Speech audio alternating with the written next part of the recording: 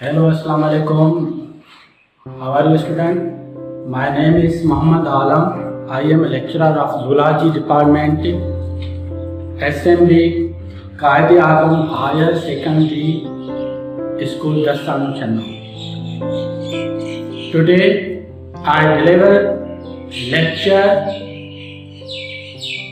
on second year bio book so first of all I, in, I introduce the contents of biology book. Second year biology book divided into 12 chapters. Uh, first chapter is the homeostasis. Homeostasis. What is means by homeostasis? Basically, this is a Greek word. This is a Greek word and the, this word divided into two portion homeo homeo means home is status means to maintain to maintain home जैसे कि हम जब अपने घर के अंदर रहते हैं उन घर के अंदर सफ़ाई होना लाजमी है ठीक है जो घर के अंदर ज़्यादा कचरा होता है, उनको क्लीन करते हैं। इसी टाइप के हिसाब से हमारे बॉडी के अंदर जो डिफरेंट स्पॉट है फ्लूड है सेल्स टिश्यूज प्रेजेंट है, उनको मेंटेन करने के लिए हमें एक प्रोसेस डेवलप करना पड़ता है। उस प्रोसेस को हम क्या कहते हैं? Homeostasis It means ability of body to maintain constant internal environment. यानी बॉडी की वो एबिलिटी हमारे बॉडी की वो एबिलिटी जो एनवायरमेंट के हिसाब से बैलेंस मेंटेन हो ठीक है फॉर एग्जांपल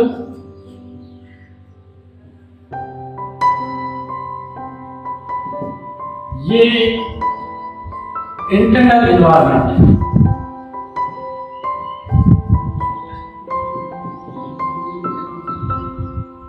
ठीक है, और ये एक्सटर्नल इन्वायरमेंट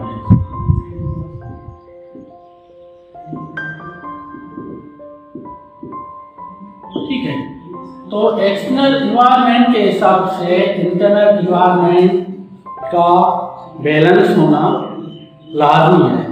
अगर एक्सटर्नल इन्वायरमेंट चेंज होता है तो इंटरनल इन्वायरमेंट के ऊपर भी इफ़ेक्ट होगा।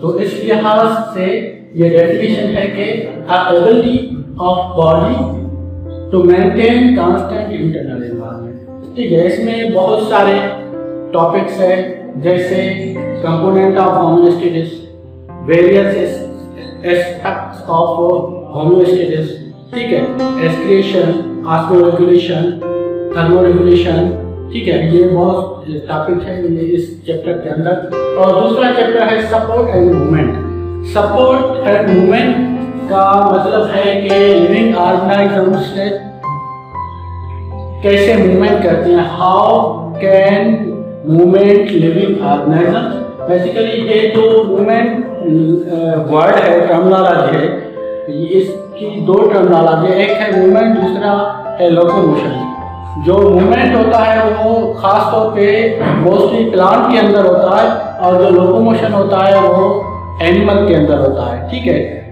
मूवमेंट का मतलब है कि living organism for example plant do not movement one place to another place but they stay at one place and their movement through the roots through branch through leaves this is called movement. Uh, and locomotion is the process through living organisms movement one place to another place.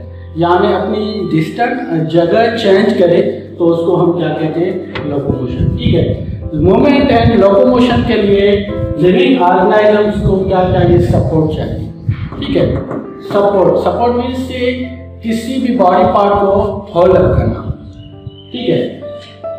तीसरा chapter है coordination and control coordination and control का मतलब है कि हम रोज़मर्रा ज़िंदगी में जो भी एक्टिविटीज़ करते हैं उन एक्टिविटीज़ पर हमारा ब्रेन कैसे ब्रेन कैसे कंट्रोल कर, कर पाता है ठीक है?